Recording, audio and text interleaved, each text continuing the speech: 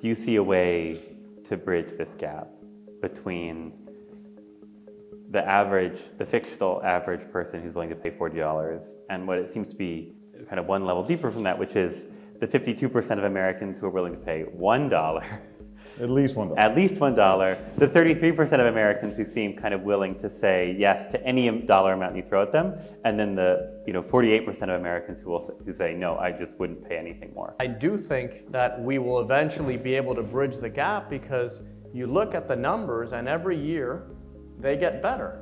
Every year people are willing to do more. Every year more and more people care about this issue and prioritize it when they go to the polls. But the thing about climate that's different from everything else is number one, it is intersectional, and number two, there's a timeline. And so it doesn't make a difference whether you are on the extremely wealthy end or you on the, the extremely poor end. Climate change continues to happen and it will impact all of us.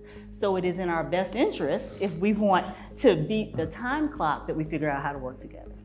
How can we make that time clock more salient for people, more important for them to solve quickly? You know, in the Florida Keys, there are a lot of very conservative fishermen down there and charter boat captains, and, and I would tell them, hey, the environment is the economy. So we really do have to meet people where they're at, and that's how we're going to continue building this national coalition that's going to help us address probably the greatest challenge, not just of one generation, but uh, for multiple generations. I can talk to a hunter about the changes in the weather and whether or not the rains are coming at a different time. I, I am talking about climate the entire time. And the recognition is that the people who I'm talking to are talking about climate, and they are just as concerned as a social activist that's sitting in California. I think the more that we begin to show how climate and environmental impacts are actually a part of our everyday life, as opposed to something separate, the closer we become on what that solution path is.